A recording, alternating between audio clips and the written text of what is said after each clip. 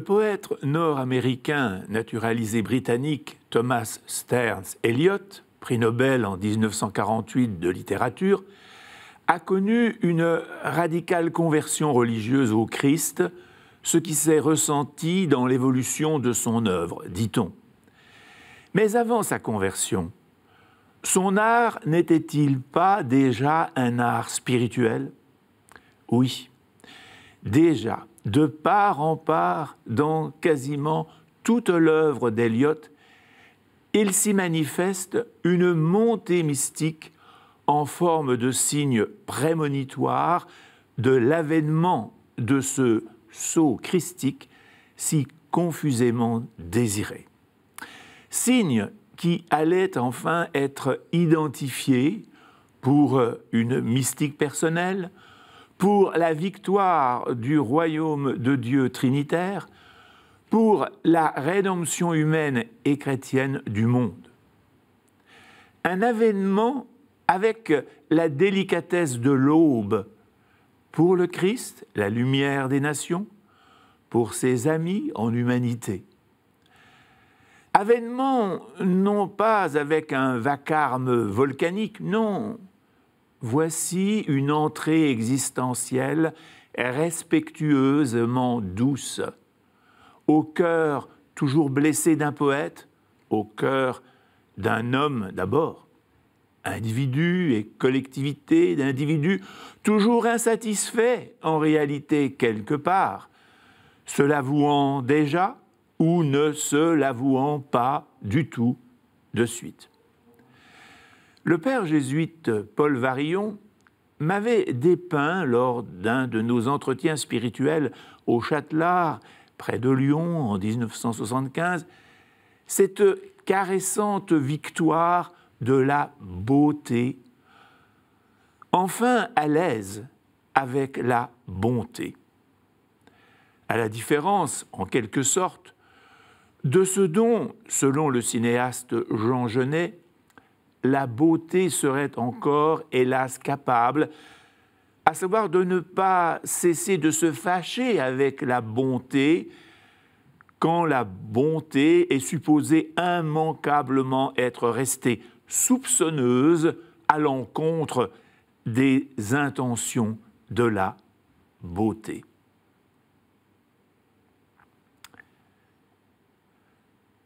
le peintre religieux, même s'il est chrétien, ne procure pas uniquement des tableaux explicitement religieux. Eliot le fit remarquer pour la poésie.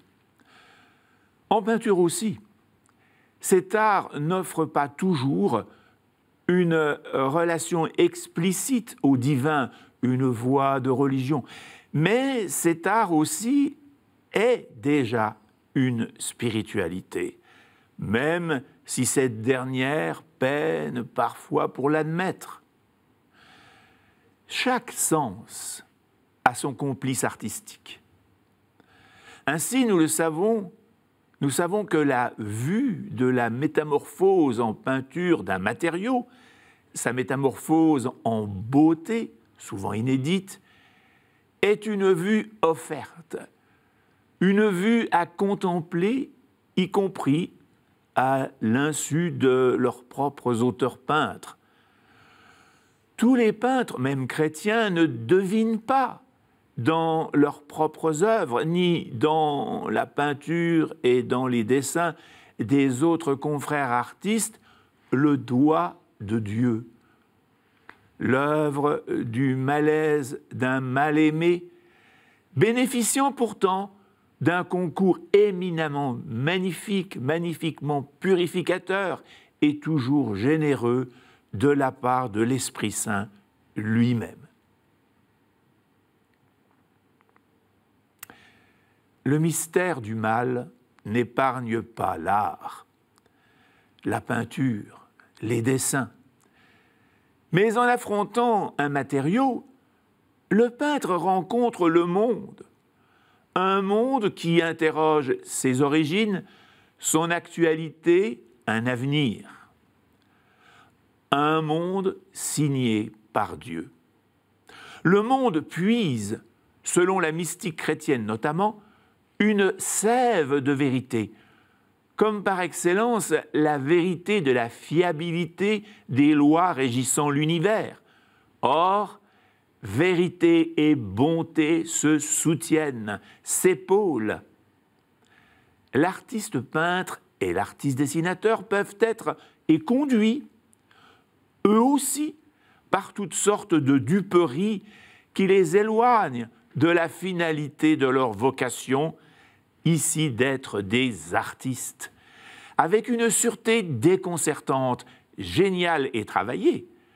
Croyants ou pas, chrétiens ou pas, leur vocation d'artistes, hommes et femmes, ne consiste-t-elle pas à œuvrer à la vigne de leurs prédispositions respectives, singulières, confraternelles, dans le but d'exiger l'équilibre si décisif, si transcendant, si mystique, si divin de la beauté?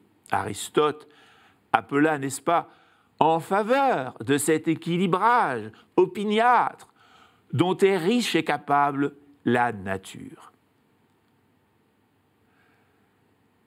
La mystique des artistes peut dévoiler des propos de demande de miséricorde, des demandes parfois très angoissées, alors que Dieu révélé en Jésus-Christ ne cesse de proposer gratuitement le pardon, comme l'enseigne le pape François.